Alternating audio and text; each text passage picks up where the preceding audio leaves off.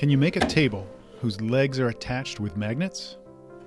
We built a footstool to test out the idea and figure out what might go wrong. Each leg uses a strong, 1 inch diameter neodymium magnet, attracting to a steel piece in the top of the footstool. They stick well.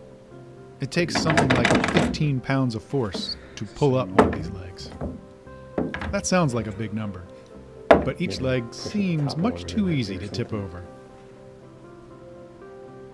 Very easy to push over.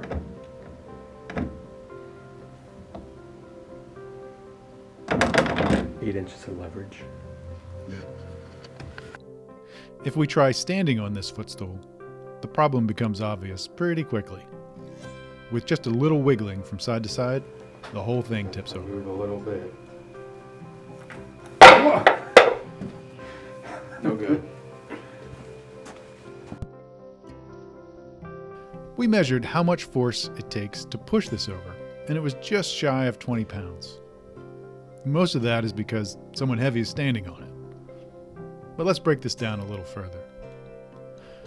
When we think about forces on these legs, what exactly are we talking about? Measuring the force needed to pull the magnet straight away from the steel washer, we see 15 to 20 pounds of force. That's just like our pull force case 1 numbers listed on our website. Now, that's a very different number than the force required to tip the leg over. Because these legs are 8 inches tall, they have a lot of leverage. It only takes about a pound of force to tip it over. Okay, let's construct a better footstool. We'll redesign the wood pieces, but still use the exact same magnet and steel washers. We start by cutting four legs from some round wood stock. The new feature we're introducing is this collar piece, cut from a 2x4 with a hole just big enough for the leg to fit inside. We attach four of these collar pieces to the stool's top, one at each corner.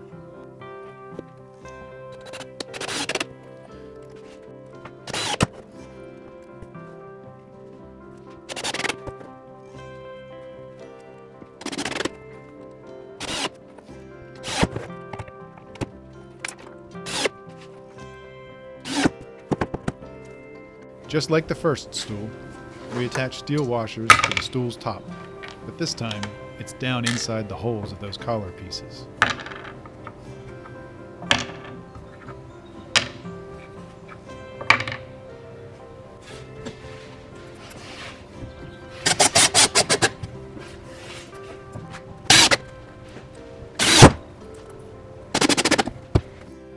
Next, we attach the magnets to the legs, just like the first footstool.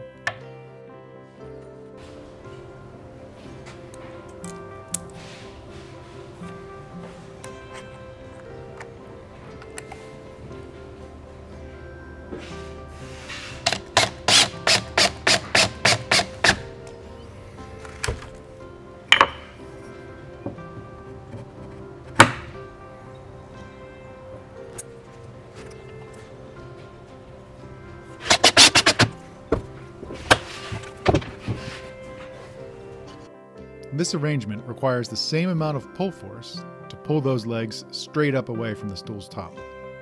But those collar pieces prevent the easy tipping problem we had before. Magnet on the end.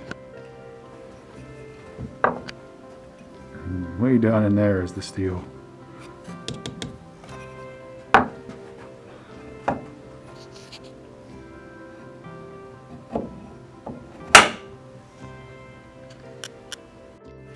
In a pushover test, we leaned into it with more than 50 pounds of push with no problem.